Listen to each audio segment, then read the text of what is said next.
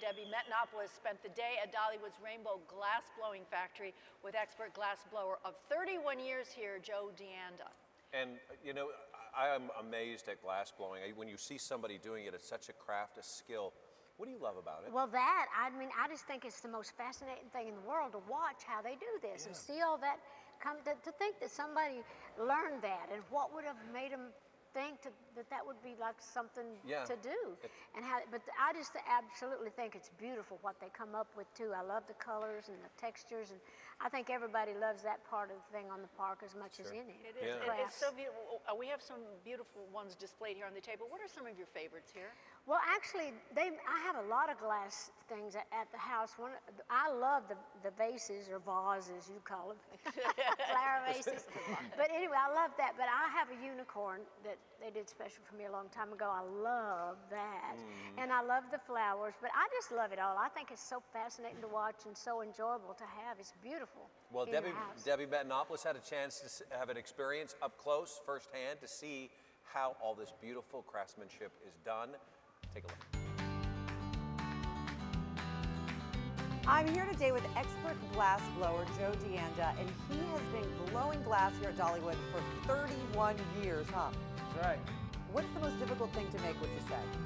I don't think anything is more difficult than anything else. I think some things just have more steps. Well, that's for you, but for like a normal person like me and the people out there, what, what would you say is the most difficult or the most simple? Well, the simplest would be a Christmas ornament. So you think you could teach me to make a Christmas ornament? Sure can. Well, what are you gonna make today? I'm gonna make an angel. Are you gonna make an angel for my daughter? Sure. Let's get started. Okay.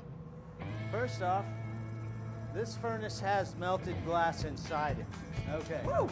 Okay, you're not gonna put any gloves on? No. How hot is it? It's a little over 2,000 degrees, Why does it have to be that hot? so that it's liquid. That, right there, that fire is about to liquefy my face. And we're gonna pick up some colored glass right here. Okay, so you, you choose It- your color now? Right. And this is all glass in these trays. I feel like I just got a sunburn. Is it possible? You can turn a little red. Oh my God. So we're gonna melt these colors. Wow, how long do you leave it in there? Um, we're just about done. Okay, That's good. so no more than 10 seconds. Okay, we're going to shape the glass first. Going to use a little wooden tool. It's called a cupping block. A cupping block. How, how is that possible that it doesn't burn? It's kept in water for at least a month before we ever use it. But look at the sparks. And that's just the wood slowly coming off. These cups will last almost a year. That smell. That smells amazing. Okay, now we're going to put a little bubble in it.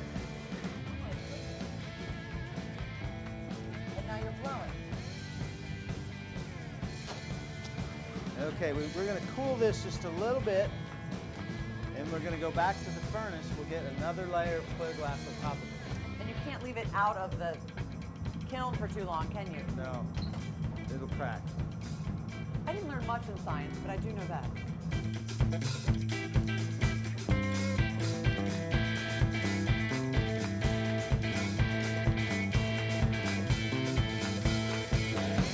Okay, what I'm doing here is scoring the glass. This is going to be the bottom of the angel's dress.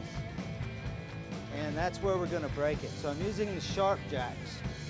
Now, we have a beautiful day today here at Dollywood, but in the summertime, I can't imagine um, this is a great place to be standing. It's been known to get 130. Wow. Now it doesn't look like an angel because it's a round ball, so we want to change the shape. Right.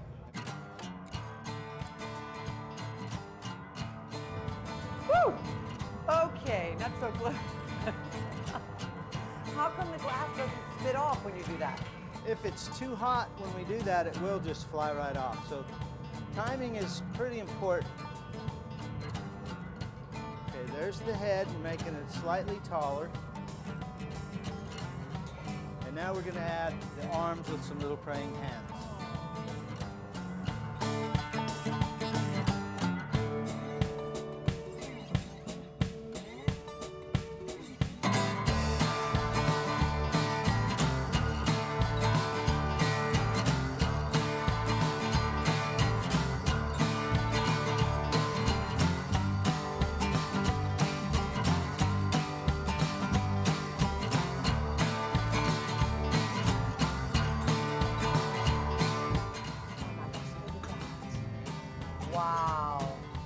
smells like taffy. Okay, with this one, we're gonna stick it right on top of the head. This is how uh-huh. we're gonna hold on to it because we're gonna break it off the pipe and work on the bottom of the dress. Okay, to make it break, we're gonna cool this just by squeezing it with metal tools. Break it just like that? The metal's cooling it, putting little cracks all the way around. Because you're gonna let it get to the degrees that is too cold. Right. Oh. But see, you make it look so easy. Something tells me it's not that easy.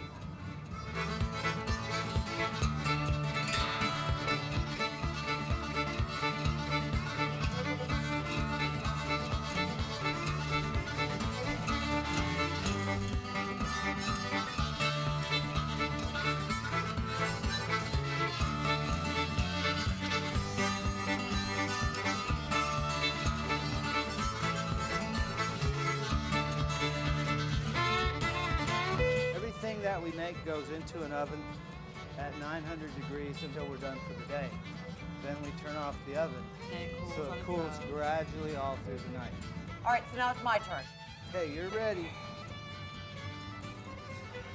A little bit harder. I haven't even started. Oh, okay, blow. Keep going. Stop. That's it? That's it. Oh my gosh, that's so easy. I'm a glass blower. So this is my ornament. I think I did a good job. It wasn't hard, was it? Not at all. Anyone can do it. So let me ask you this. Do you think I have as much hot air in me as, as you thought I did at the beginning of this segment?